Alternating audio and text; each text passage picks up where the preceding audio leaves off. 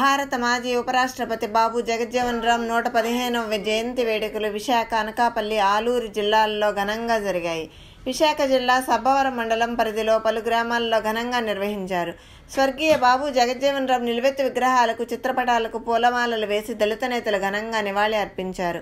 మండలంలోని చినయాతపాలెం ఎస్సీ కాలనీలో ఏర్పాటు చేసిన బాబు జగజ్జీవన్ రామ్ జయంతి వేడుకల్లో ఆ గ్రామ సర్పంచ్ పాలుశెట్టి సురేష్ రాజు వైస్ ఎంపీపీ సరగడం రాము ఆ వార్డు సభ్యులు మల్ల బాలాజీ మారేడుపూడి కోటేశ్వరరావులు పాల్గొని ఘనంగా నివాళులు అర్పించారు. అంతకాపల్లిలో జరిగిన బాబు జగజ్జీవన్ రామ్ జయంతి వేడుకల్లో ఆ గ్రామ దళిత నేతలు గంగరాజు గోటివాడ సన్యాసిరావు విశ్వనాథ మాస్టారు పూలమాలలు వేసి ఘనంగా నివాళులర్పించారు.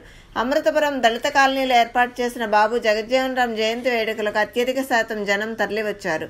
ఆయన చిత్రపటానికి పూలమాలలు వేసి ఘనంగా నివాళులర్పించారు.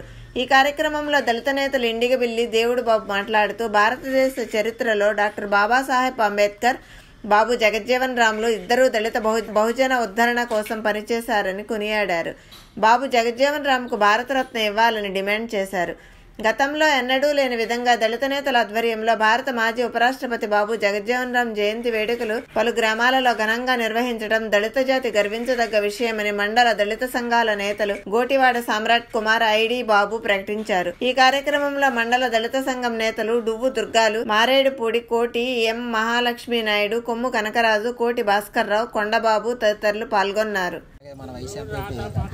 అలాగే రాము గారికి అలాగే వార్డు మెంబర్ బాలాజీ గారికి అలాగే స్థానిక లీడర్లు అలాగే దళిత నాయకులందరికీ నా యొక్క కృతజ్ఞతలు ఈ యొక్క కార్యక్రమానికి ఇచ్చేసి ఇంత బాగా దిగ్విజయంగా జరగడానికి కారణమైన మా గ్రామ ప్ర గ్రామ ప్రజలకి అందరికీ నా యొక్క కృతజ్ఞతలు తెలియజేసుకుంటూ సెలవు.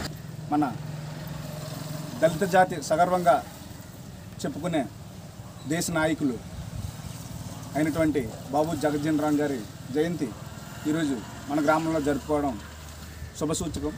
మరియు ఇది మన యొక్క పూర్వజన్మ సుకృతంగా భావిస్తున్నాం. జయంతి ఉత్సవాలు చాలా తక్కువగా చేసేవారు. కానీ ఇద్దరు కూడా దళితులే.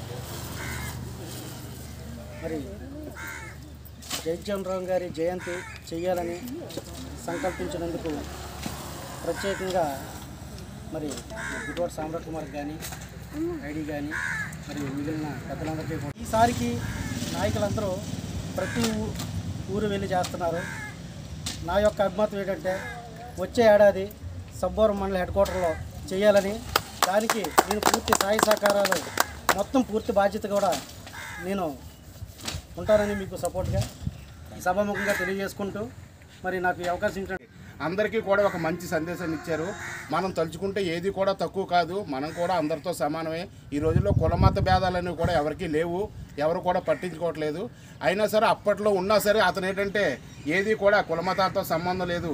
ఏదైనా సరే మనమంటూ మనకంటూ టాలెంట్ ఎందుకు పుట్టారు అతను? అతను బ్రతికింది డెబ్బై ఎనిమిది సంవత్సరాలు.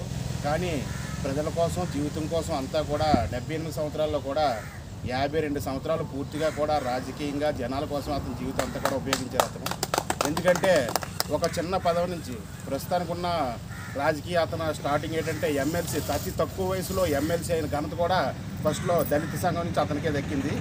అదేవిధంగా ఈ జగజ్జీవనరావు గారు ఇప్పుడు కూడా ఏంటంటే మనకంటూ ఒక ప్రత్యేకత ఉండాలి. మనకంటూ మన మన నేత. ఎందుకంటే భారతదేశ చరిత్రలో చూసుకుంటే రాజకీయంగా ఆయన ఒక ఎవరెస్ట్ శిఖరానికి అందని ఎత్తికి ఎగిరారు. పది సంవత్సరాలు పార్లమెంట్లో సుదీర్ఘంగా పార్లమెంట్ సభ్యుడిగా కొనసాగి ఇంచుమించు సుమారుగా నలభై సంవత్సరాలు యాక్చువల్గా ఏప్రిల్ నెల అనేది ఫూల్స్ నెలగా భావిస్తారు. ఏప్రిల్ ఫూల్ అని ఇలాగని చెప్పి అనుకుంటారు. కానీ మనకి ఇది ఏప్రిల్ నెల అనేది ఫూల్స్ పండగ కాదు. మన ఎంతో మన జాతి కోసం ఎంతో కృషి చేసినటువంటి గొప్ప మహనీయులు పుట్టిన రోజు చేసుకున్న నెల ఏప్రిల్ నెల. ఒకటి బాబు జ్యోతిబా పూలే గారి జయంతి ఏప్రిల్ నెలలోనే మనందరి ఆదర్శ నేత డాక్టర్ బిఆర్ అంబేద్కర్ గారి జయంతి కూడా ఏప్రిల్ నెలలోనే. కాబట్టి ఈ యొక్క ఏప్రిల్ నెలని ఫూల్స్ నెలగా భావించకుండా మనందరికీ ఇదొక ఒక దేశంలో ఉన్నటువంటి కులతత్వాలకు బలైపోయి ఆ పదవిని చేజించుకోలేకపోయారు ఇప్పుడున్నటువంటి పరిస్థితుల్లో మనందరం ఈ రోజు ఈ హోదాలో ఉంటున్నాం అంటే ఇప్పుడు సురేష్ గారు అన్నారు మాకు రెండు సంవత్సరాల అవకాశం వచ్చిందంటే ఈ మహనీయులు మనకు పెట్టినటువంటి భిక్ష. ఒకరేమో రాజ్యాంగాన్ని రాసి మనం చేతికిస్తే ఆ రాజ్యాంగాన్ని సుపరిపాలన విధానానికి ఈ విధంగా కొనసాగించాలని చెప్పి పార్లమెంట్లో విశదీకరించినటువంటి వ్యక్తులు వీళ్ళు.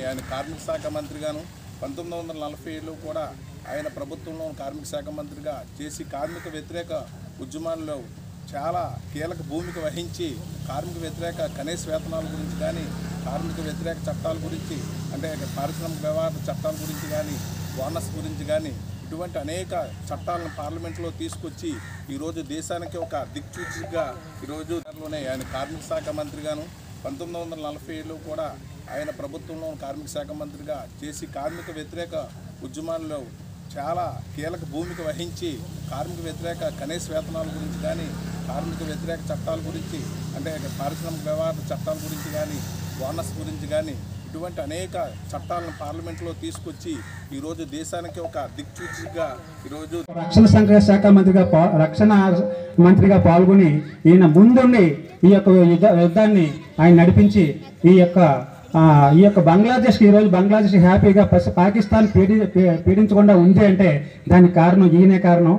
ఆయన యుద్ధం రకరకాల క్యాబినెట్ మినిస్టర్లుగా పనిచేస్తూ ముప్పై సంవత్సరాలుగా సుదీర్ఘ కాలంగా ఈయన ఎంతో భారతదేశానికి వ్యతిరేకించి కొండలు రెండుసార్లు బదలుగొట్టి ఆ యొక్క యాజమాన్యానికి ఆగ్రహం తెప్పించారు.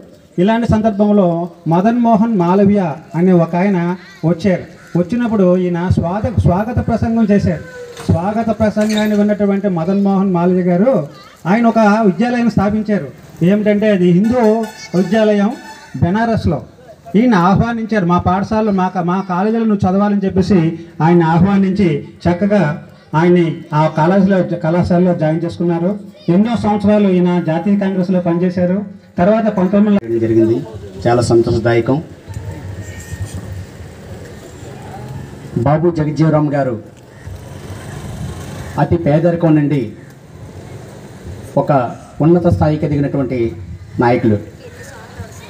ఆయన భారతదేశానికి ఉప ప్రధానిగా కాకుండా సుమారు యాభై సంవత్సరాలు పార్లమెంట్లో తన యొక్క ఉనికిని చాటుకొని సుమారు ముప్పై ఏళ్ళు కేంద్ర కేబినెట్లో అనేక కేంద్ర మంత్రి పదవులు కానీ అలాగే ఉపాధి కార్మిక శాఖ వీటిని నిర్వహించి భారత జాతీయ కాంగ్రెస్ పార్టీకి అధ్యక్షుడిగా పనిచేసినటువంటి ఒక గొప్ప ఉన్నతమైనటువంటి వ్యక్తి. అదేవిధంగా బాబు డాక్టర్ బిఆర్ అంబేద్కర్ గారు రాసినటువంటి రాజ్యాంగాన్ని పుణుకుపుచ్చుకొని రాజ్యాంగంలో ఉన్నటువంటి మన నాయకులకు మరి మనవులు అన్నట్టు ఆయనకి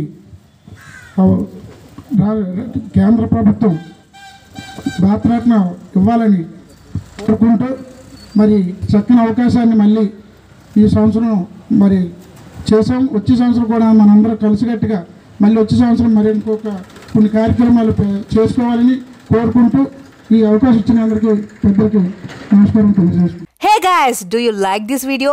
Please do like, comment, share and don't forget to subscribe our channel.